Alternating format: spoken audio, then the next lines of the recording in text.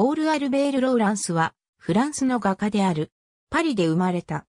父親のジャン・ポール・ローランスは、画家で、パリ国立高等美術学校や、私立の美術学校のアカデミー・ジュリアンで多くの画家を指導したことで知られている。弟のジャン・ピエール・ローランスも画家になった。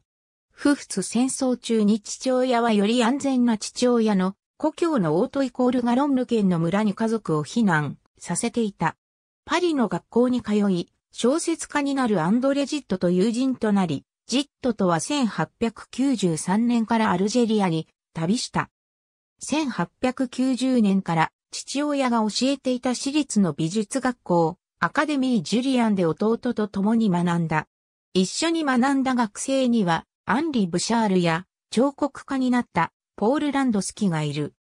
1893年10月末、アンドレジットとマルセイユからアルジェリアのチュニスに渡り、スースを経て、1894年の1月、アルジェリアのビスクラに旅し、ビスクラのかつて宣教師が住んでいた家に、ジットの家族と共にしばらく滞在した。1900年に結婚し、モンパルナスの画家のエミール・ルネ・メナールも住む共同住宅に住んだ。1912年頃、父親や父親の教え子のユリス・ラボート・トゥールーズの役所の依頼で議会の建物に装飾画を描いた。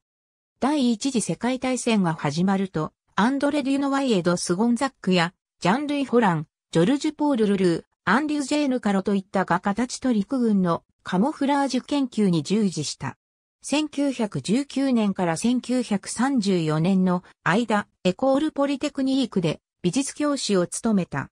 ローランスが教えた学生には、リュシアン・シモンやドミニク・フラサッティらがいる。